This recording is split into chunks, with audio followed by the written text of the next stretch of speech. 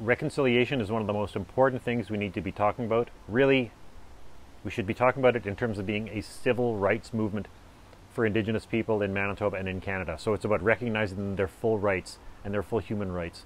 Uh, to make sure that we're doing it, we have written our entire platform through the lens of reconciliation. We've made a series of commitments to addressing the harms of the past, and we're serious about it, whether it's kids in care or the damage that's been done by hydro.